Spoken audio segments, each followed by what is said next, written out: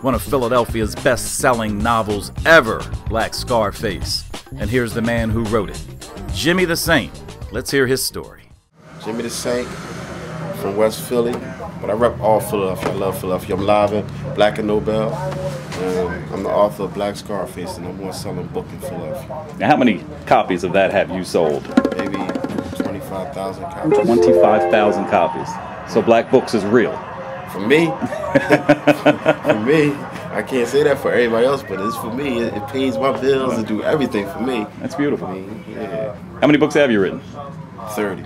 30 books are published? 30 books. Wow. I didn't put the rest of them out. I got nine I published. Okay. Nine is out in the stores. They're available. You can check me out on Amazon. Jimmy Dasaint. That's D A S A I N T. Twitter. I mean, I do. So why do you think people like your stuff? What what makes It's real. It's real. You get no realer than this. Okay. It's no realer than this. Unless you've been shot 10 times, unless you've been incarcerated for 10 years, unless you witnessed murders and you was a real drug dealer and you've been through the dramas and the realities of life, unless you've been through it, you can't write no, can't write like this. Not like this. I wrote it with my friend Rick Ross, the real Rick Ross. This was my cellie in federal prison. You know what I'm saying? He was featured on BET American Gangster. He wasn't kidding when he said he has more than one book. Check him out. Rose Among Thorns. Oh, they'll be in on Friday. The Apocrypha will be here Friday. The Torah, I have the special one. The Torah. Everything I love. That's what I need. That's like 15. Okay. It'll be here Friday. Friday? Okay. Definitely. Contract Killer. All right, cool. Underworld. We're going to consider you one of those prolific writers then, huh?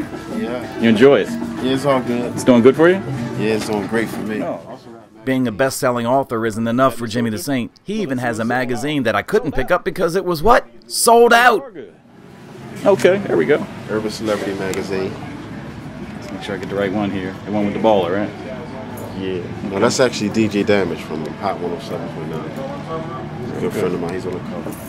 Yeah, Talk to me about the ideas. Is it you ever get writer's block? That's what Never they got writer's Never block. got writer's block. It just it just come. Okay. It just come. The stories is there.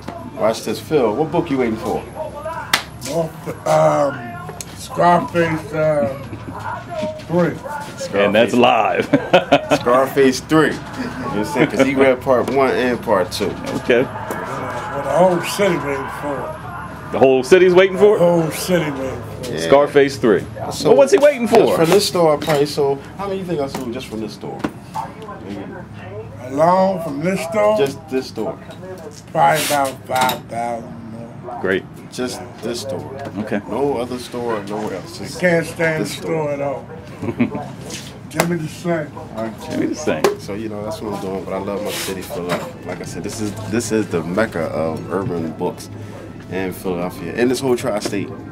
Matter of fact, might be across America because they got other bookstores trying to mimic what they doing here. Mm-hmm. And we love it. But it'll never be the same.